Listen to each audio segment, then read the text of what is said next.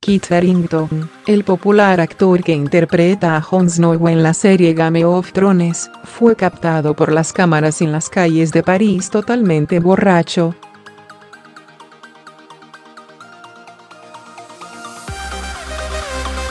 Resulta que el actor y sus amigos fueron a festejar por la ciudad francesa y terminó pasándose de copas.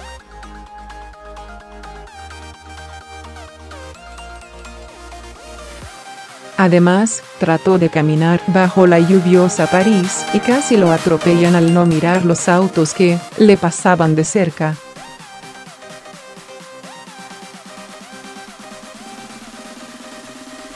No es la primera vez que el actor se muestra ebrio en público. En enero pasado, lo tuvieron que echar de un bar por estar borracho y con un comportamiento inapropiado en Nueva York.